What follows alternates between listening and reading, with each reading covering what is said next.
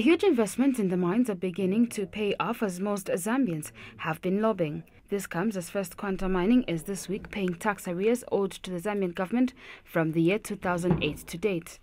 The arrears were as a result of disputes between the state and the mining company over adjustments in the national mining tax policy.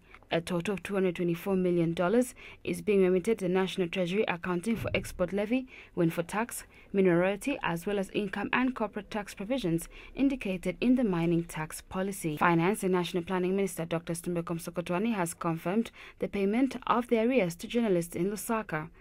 Next, I expect very good taxes from uh, Uh, Lumwana.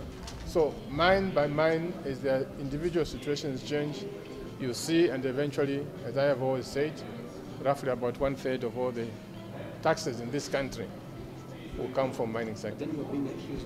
And Dr. Musokotwane says the payment will assist social sectors and key areas like infrastructure that are top on government projects. This money that is coming now, this is the money that is going to go to infrastructure. This infrastructure, today as we are speaking, Copperbelt roads are being done.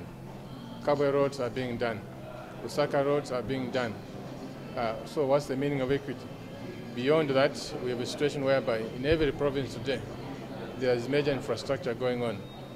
Uh, in southern province, we've just spent a lot of money on the Namwala Choma road to finish it. The minister says First Quantum remains a large taxpayer and more mining firms will fall into this bracket, especially with Lumwana expected to increase its output in the next two years.